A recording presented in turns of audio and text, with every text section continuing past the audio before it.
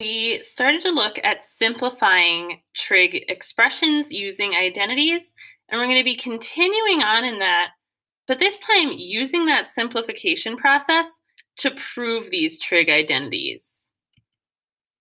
And these are a few of my favorite things. I've been looking forward to this unit for so long. So, the hills are alive with the sound of trigonometry. So, what does it mean to prove an identity? Prove an identity means to show, right, that one side of an equation is equal to the other side.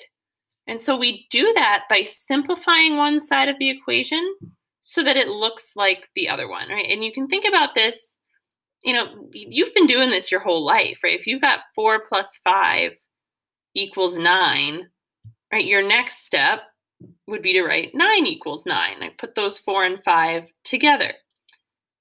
So we're going to simplify it so that we've got the same trig expression on each side of our equal sign.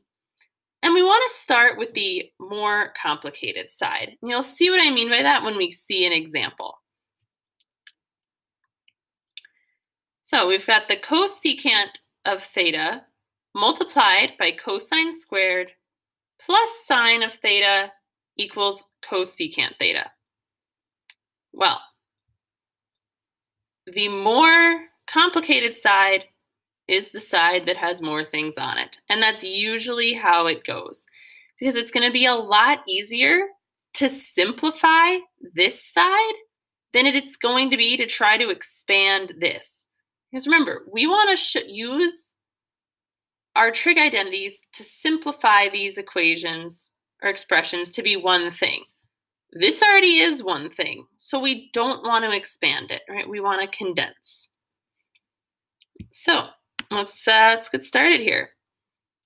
We're going to start by using one of our reciprocal identities.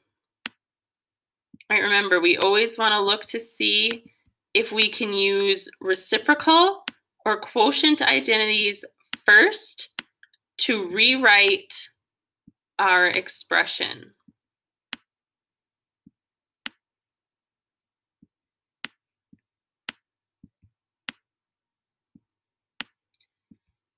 Now because I'm only working right now with this side, I'm just going to leave the equals sign alone, right? We know we're trying to get to cosecant theta.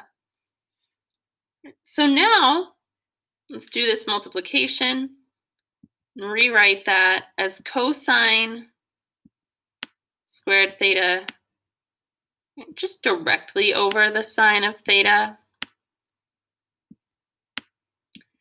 And the reason I want to do that is I'm getting ready to combine my fractions, right? Because the next step in our simplifying trig expressions is to either use a Pythagorean identity or to look for a way that we can create one that we can use. And to do that, we're going to need some, uh, some fractions.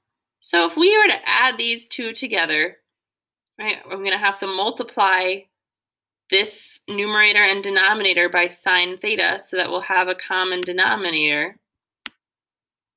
I'm going to kind of gloss over that step since I know you guys know how to get a common denominator and add fractions.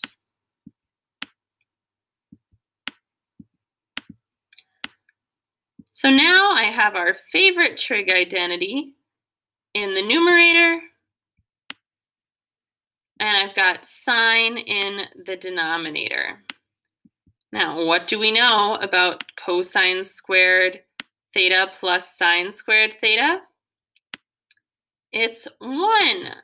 So that leaves us with 1 over the sine of theta.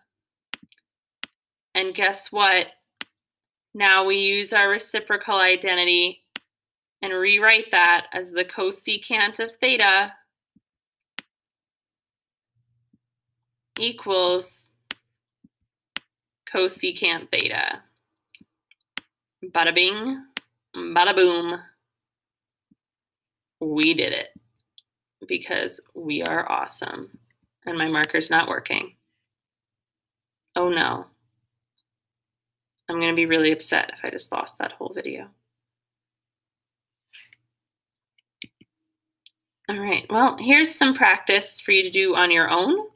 Hopefully that worked and I don't have to re-record all of this. Um, if I do, then I will. So more trig for me. But try this one and then we will go over it as a group pretty soon.